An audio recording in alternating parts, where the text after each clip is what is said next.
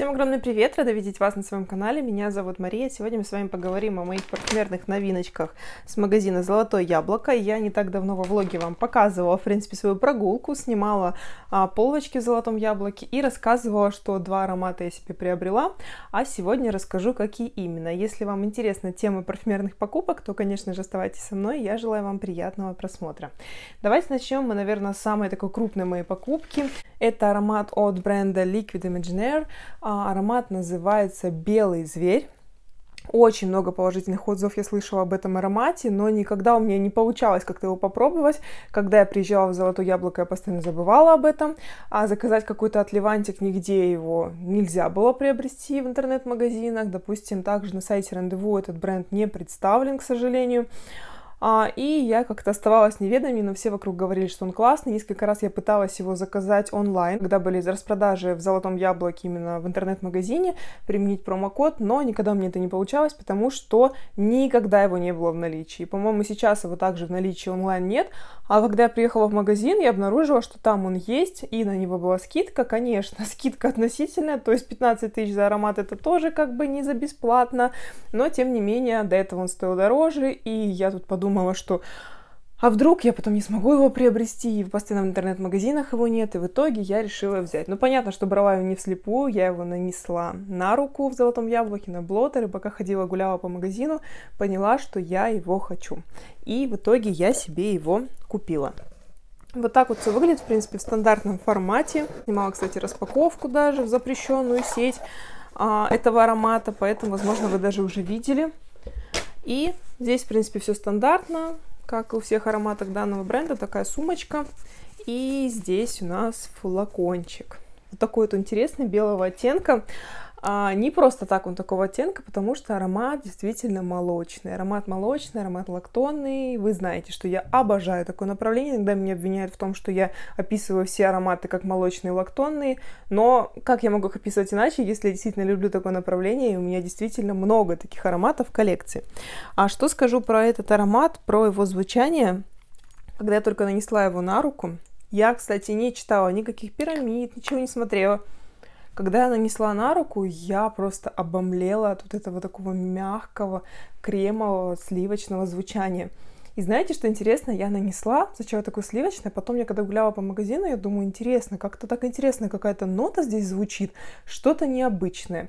Я еще подумала, как будто бы ощущение ладана присутствует. Я вообще не являюсь любителем ладана в парфюмерии, но здесь это все так как-то гармонично звучало, я еще так подумала, думаю, да, наверное, мне кажется, но навряд ли тут будет ладан.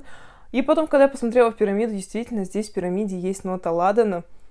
И не скажу, что здесь она звучит как-то отталкивающе, неприятно. Нет, здесь она звучит классно. Здесь это все замиксовано очень даже кстати. Все звучит очень уместно для любителей, опять же, таких ароматов.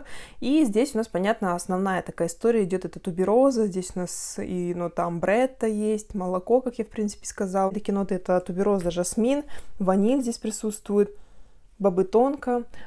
В общем, все это звучит очень красиво, и казалось бы, знаете, когда я его нанесла, я сразу поняла, что хочу его, но думаю, наверное, он будет звучать так мягко, таким облачком и будет абсолютно нестойкий. Но как же я ошибалась, на самом деле, несмотря на то, что аромат такой мягкий, нежный, лактонный, он довольно яркий. Возможно, за счет туберозы, потому что аромат действительно шлейфовый. Особенно сейчас в такую прохладную погоду он звучит просто нереально. Шлейф километровый и стойкость тоже на мне очень-очень хорошая. То есть целый день я на себе его ощущаю. И вот пока я гуляла, как раз пошла за дочей в сад, нанесла этот аромат, я всю дорогу вот так оборачивалась назад постоянно ловила свой шлейф. И он как-то даже не то, что за мной, он как-то и вокруг меня был таким коконом поэтому я прям под впечатлением. И, как и сказала, стойкость меня тоже поразила, потому что я почему-то думала, что он будет не стойкий, но нет, стойкость просто запредельная, очень рада покупке.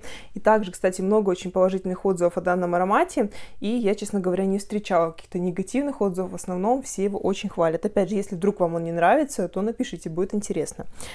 И вторая моя парфюмерная покупка, которую я очень тоже хотела, ну как, я давно смотрела на этот бренд, бренд достаточно бюджетный, а тут как раз была распродажа классно на сайте, я себе выбрала этот аромат и еще один, и пока я туда-сюда, туда-сюда в телефоне, в общем, по сайту, все раскупили, не было. И когда я приехала в магазин, думаю, ну ладно, поеду в магазин, куплю. И когда я подошла к стенду, это бренд, который называется Sally Notes, а, и аромат у меня ирис, и там было всего два аромата, то есть две коробочки этого аромата, я одну забрала, одна осталась. Также я хотела еще себе взять тонко, по-моему, аромат называется, но уже, к сожалению, не было, и на сайте нет, ну, значит, не судьба. Как я поняла, эти ароматы можно миксовать между собой. Я взяла ирис, а, и абсолютно не пожалела, потому что звучание классное. Действительно, меня также, кстати, спрашивали, похож ли он на ирис от Прада. У меня, кстати, где-то он тут рядом, да. Вот он у меня. Действительно, схожесть есть. Я не скажу, что это прям сто процентов клон, потому что в ирисе от Прада больше какой-то суховатости и пудровости. Он как будто более сухой и пудровый ирис.